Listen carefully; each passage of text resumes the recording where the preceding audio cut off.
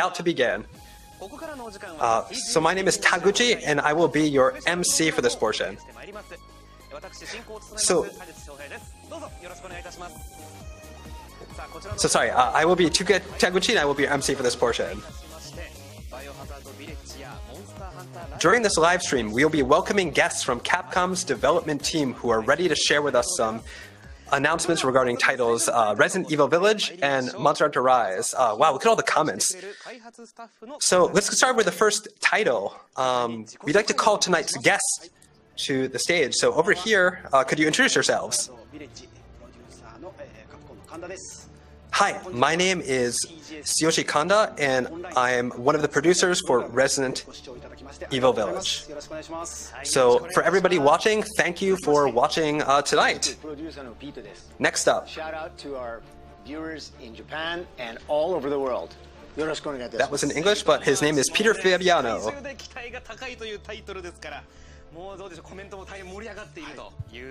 Wow, look at all the comments. Everybody's really excited to kind of see the information that we're going to unveil tonight. So, what should we start with? So, today we'll be talking about Resident Evil series, uh, especially Resident Evil Village. Uh, so, we want to start by talking about Biohazard Village. Here's the latest trailer for those who have missed it.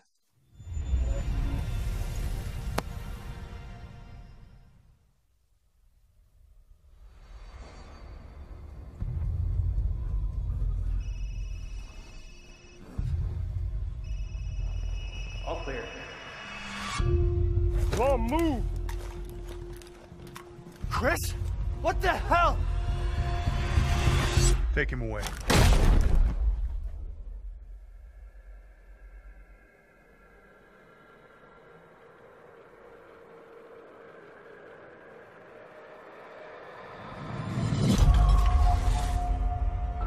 In life and in death, we give glory. The bell tolls for us all. They're coming again!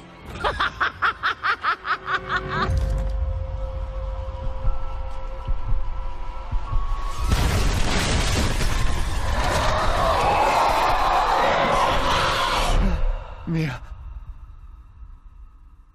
Quit being so paranoid. Long ago, a young girl went with her mother to pick berries for her father, who was hard at work. But the forest greeted them with a dark, cold silence. The bushes empty. Yet determined to find the berries, the rascal broke free of Mother's grasp and vanished into the trees. Mother's worried cries faded fast as the girl ran on, over vine, under branch, and into the forest deep.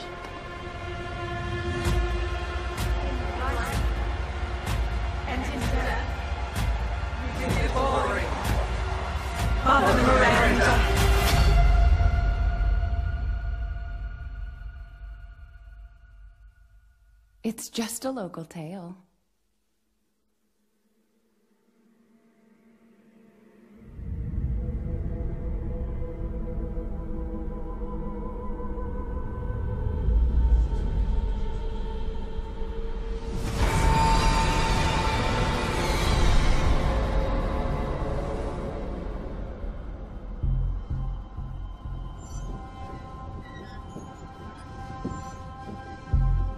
If it's just looking, window shop away.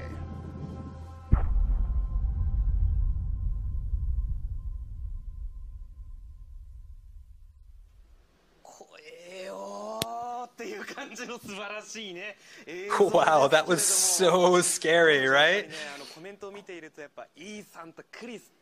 Looking at the all the comments, it seems like everybody is like, "Wow, that was really cool." So, uh, thank you. So, including videos, we have a lot more information to show you today. So, um, we thought we'd start with a summary and some other information. Uh, to start with, this game's story takes place several years after Resident Evil 7. Just like RE7, players assume the role of Ethan Winters, who's now living peacefully with his wife Mia. So uh, that peace that he is living uh, with his wife is shockingly shattered by Chris Redfield, who helped Ethan in the previous game. So, so after watching the trailer, I'm sure players are left wondering what Chris's motives could be, and how this changes the dynamic between the characters from RE7. Uh, we can't disclose any secrets today, but we'll continue to provide more information in the future. So, in terms of the setting, as the title implies, this game takes place in a desolate, snowy village where all sorts of drama unfolds. So, uh, interesting thing about this game is the village plays a central role, so much so that it can be considered another main character. Uh, and here we get a look at some of the creatures that have taken root in the village. As seen in the trailer, they uh, move fast, they're very violent, and they sometimes hunt in packs. Uh, they'll become even tougher when they're they're organized and coordinating their offensives. But even in this creature-infested village, there are various residents that the players can expect to encounter along the way. So we, what sort of story is going to be waiting for you uh, with all these interesting characters in Village? So uh, we'll have more details about this as well, but you know, you can look at this, the pictures that we have, and kind of come up with your own ideals. So, so everything looks really cool, right? Like, just seeing it brings up all these kind of interesting, uh, makes me imagine all the cool things that are going to be happening in this game. So, is there anything else you can show us tonight? So, yeah, we have something uh, that we haven't shown anybody yet. Uh, we have an interview with Pete and with uh, the director Sato and with the art director Takano. So please take a look. こんなとこまで作り込んでんだみたいな。同等それ以上の怖いパートは必ずある Beautiful, So a terrifying. 恐ろしく美しい村。B さんのすべて so a very beautiful but scary.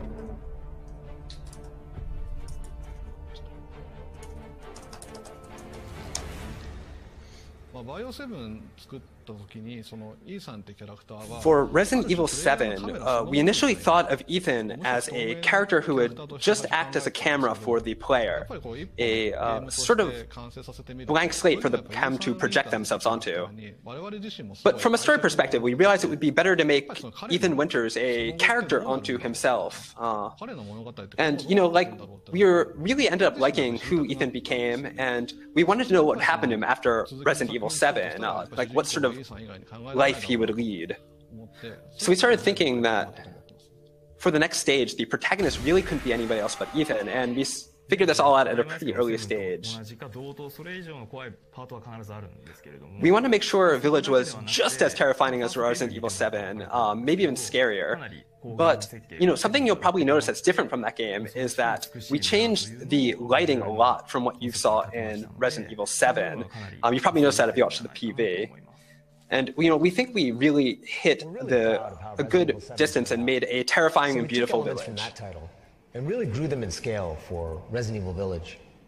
Not only did we up the graphics and elements of survival horror, but we focused on making the world and the atmosphere all around it feel both beautiful yet terrifying. まあセブンになってこれは本当に怖いのかっていうのをまあ一つずつデザイン So when we were making Resident Evil 7, we thought, you know, is this still scary? Uh, we decided that in terms of game design, uh, we would go back over everything that we did, and uh, you can keep this in mind. We'd go back and we'd kind of reverse all the lo- we'd rethink all the logic we used in the previous games and try to make a really uh, you know terrifying game. So compared to RE7, Village is a bit more catchy, a bit more easy to pull yourself into. That's one of the primary concepts we kept in mind when creating the game. Now, in terms of visual beauty and the weight we gave to it, uh, I really left it all entirely in the capable hands of art director Takano. As Village's director, I tried to think about the feel of the game. Like, what are the emotional moments? Where's the terror? Where's the beauty? What's like, where's the cruelty? Where are all these like feelings? And thinking about all that sort of stuff is the, my main job, what I consider my main job when I screen this game. Now, when we think of the word village, uh, it evokes a sense of closeness, of like a small, tiny place. Uh, but when you look at what you built village to be, it's sort of a colossal distance. It's got like this colossal distant feel to it. We wanted to give it a sense of like oomph, like a very sense of reality. So we did our best to make the mountains around the village look as fantastic as possible, to really give it a wide open vibe. We wanted players to walk through the world and be like, whoa, I didn't think of what I could actually go here, and wow, this is so cool and everything. So we thought a lot about how to create a game that you can make your own approach to, where you could figure out your own solutions to problems you face. Uh, this is something we decided to do a lot more with this game. So you have a lot more freedom than in RE7. Uh, we want players to experiment to figure out things that work for them. Hmm. We want everyone to think of uh, Resident Evil Village as a horror movie that you can play. Works really well to draw you into the world we've created. You want to take your time to fully explore the detailed environments and the fully designed set pieces. The only way that you could make it any more immersive, I guess, is to scan yourself and put yourself in the game. Where did you find this guy? Give me a break, Pete. Hey, I only work with professionals. But the forest greeted them with a dark, cold silence. The bushes empty. And into the forest deep. What is it with that creepy story? It's just a local tale. まあ、絵本を使った理由はですね、すごく so we included a storybook in Village because we had a huge variety of things that we included in the game. We realized later that it would be hard to summarize all that, and players might get confused and think, you know, what's this all about? That would be, you know, not ideal. So we came up with this one storybook that would sort of summarize everything for people so they could understand the whole picture of the game. To get the full experience All the little touches and ideas that the designers add are fully realized and come together once you make it through the entire game. 僕はそうですねビレッジは Village to me is 僕はやっぱりそうですねイーさんっていう一人の人間の uh, this kind of story of Ethan, this one guy. さんっていうそのキャラクターの一つの、うん、すべ、うん、E probably the entirety of who he is just kind of brought into a single, one single game. For the Ethan Winters that we created in Resident Evil 7, I wanted to see where his story ended up. And I think that's kind of one of the main centerpieces of Resident Evil Village.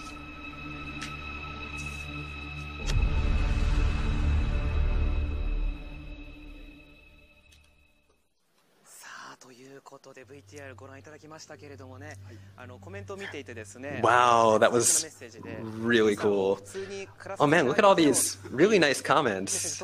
Uh, they, some of these comments are like, "Would Ethan have like a peaceful life. Come on. Um, if you watched the video we just showed, you can probably see what sort of survival horror we're trying to make with Resident Evil Village. Uh, we're hard at work on Resident Evil Village, so uh, and we're doing everything we can to deliver an amazing game. So uh, stay tuned for more information. Uh, so we do have one more thing to report. While Resident Evil Village is being developed specifically for next generation consoles and PC, we're looking into delivering the experience on PlayStation 4 and Xbox One as well. We're looking into it, but we can't make any promises. However, we will do our best in creating a top tier survival horror experience on current generation consoles. Uh, hopefully, we'll be able to share some more good information. Wow, that's really exciting, right? Um, so keep tuned for more information on this front. So that is going to be it for information on Biohazard Village, but I hear we have some more information to share with everybody from something else. Yes, we have the 25th anniversary of the first Resident Evil coming next year on March 22nd, 2021. So we're here to kick things off with this year. So we've created uh, two mascots for uh, this anniversary, like a cute one and a, like a really cool one. And this one's like super cute, right? Uh, so the one on the right is Raccoon Kun, um, or you know, Raccoon. He is a uh, the mascot of Raccoon City. Now we have one more thing to show you, and that's this right here. Wow, look at that's like all the characters. So many characters I remember from the Resident Evil series. Man, it's been forever since this came out. 25 years is a long time, right? Like, you know, back then I was still a student when it came out, and you know, like Nike Air Maxes and stuff were out, beepers and whatnot.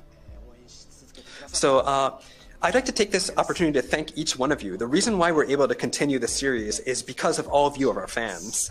And I hope you enjoyed what we showed you today. And uh, we have plenty more information to share with you soon, so please look forward to it.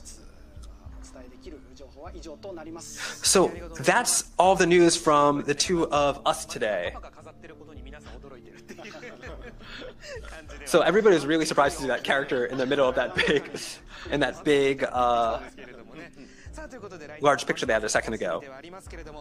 So uh, next year looks to be an excited one. And do you have one final message before you guys go and head off? Uh, so let's start with you, uh, Takano-san. Or so Kanda-san, sorry.